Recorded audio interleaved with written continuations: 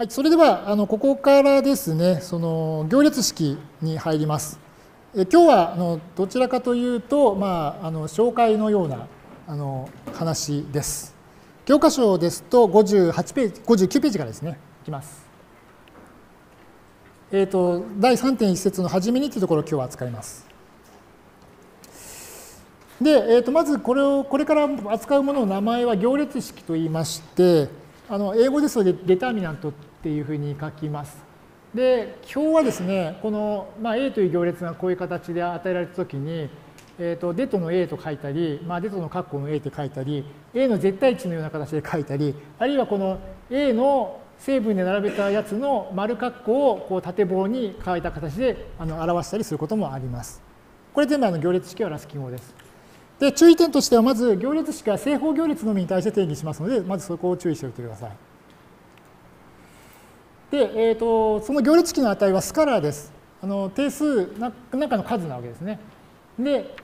えーと、でそれが表すものとしましては、えーとまあ、これからちょっと述べますけれども、その n 個の数ベクトルが決める図形の一般的な体積を表すということになっております。で、まあ、用途はいろいろありまして、例えば逆行列を持つかどうかを決めることができるですとか、連立一次方程式の解を求めることができるですとか、一変数方程式の重項の存在を知ることができる。これはあの、えっと、皆さん高校で判別式って習ったと思うんですが、実は判別式はこの行列式と関係があります。それから複数個の一変数多項式が共通因子を持つことか、えー、持つかどうかを知ることができるっていうので、これはあの判別式をより一般化した集結式というのがありまして、これはちょっとあの僕の専門分野なので、ちょっと趣味で載せました。それから連立代数方程式を解くことができる。これはあのこの間、あのこの授業でちょっと話題になりました和さんとも関連があるんですが、あのこの関隆和という人をですね、あのご存知の方はいらっしゃいますでしょうか。えーと、江戸時代に活躍した和算家なんですけれども、あのこの連立次方程式を解くですね、解法を考えている中で、この行列式という概念に至りまして、あのヨーロッパよりも若干早く世界で最初に行列式を考えたのがこの関隆和なんですね。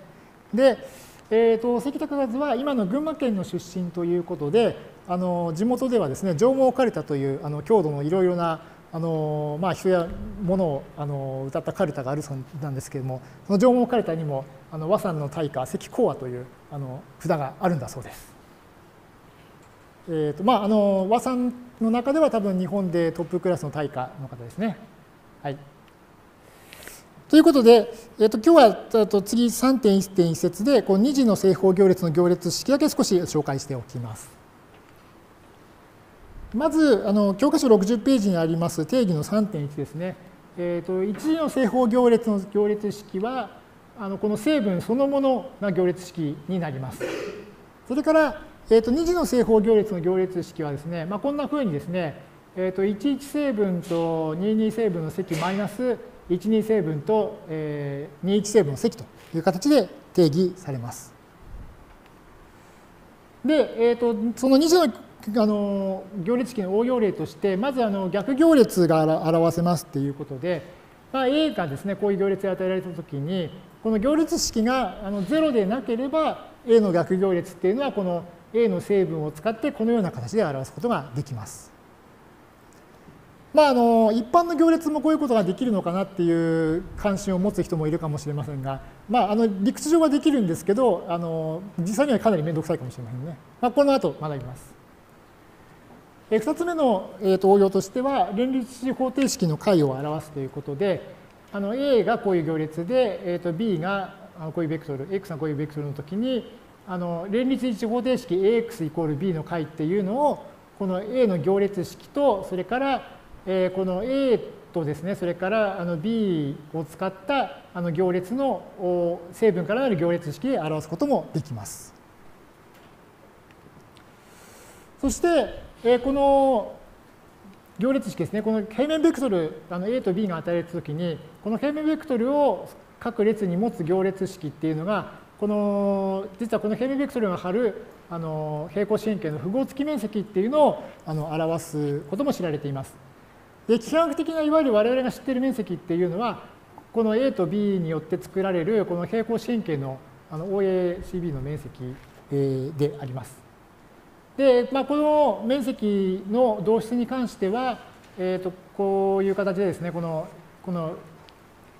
面積 S' としますと、S' はこの A の長さかける B の長さかける A と B のなす角 θ のサインの値で求められるんですけれども、まあ、これの2乗からですね、こうバーッと展開していきますと、あのこの面積は実はこの行列式で表すことは、行列式の絶対値で表すことができるという点にまあ注意しておいてください。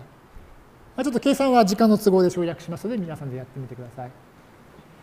で、この行列式なんですが、実は正になったり負になったりすることがあります。でそこでそれに対応する概念として、この平面ベクトルについて符号符号のついた面積っていうのをあの定めています。えー、と大きさはそのいわゆる幾何的な面積と同じで、符号はどうなるかっていうと、この S、この A と B のですね、なす角によって決まります。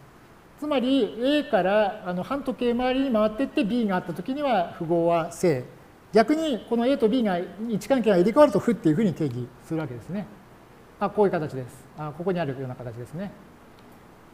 で、えー、この時にその符号付きの面積っていうのを定義すると、実はこれがあの行列式、えー、とこの平面ベクトル A と B を並べた行列式に等しくなることが分かるという、まあ、ちょっと今日はお話だけあの紹介しておきます。えー、と一応、符号付き面積はこのように定義可能な理由については、またあの会を改めて紹介したいと思います。よろしいでしょうか。はい、ということで、あの今回のまとめです。今回は行列の回数、ランクについて、説明をしました。で、そこでは列基本変形の計算、それから行列の回数標準形の存在、そして回数標準形の一位性について説明しました。で、まあ、あのランク、行列のランクに関する性質をいろいろ挙げまして、あと連立一次方程式の解の存在定理と連立一次方程式の解の一位性とこの行列のランクとの関係についてあの説明しました。後半では行列式の導入について紹介をしました。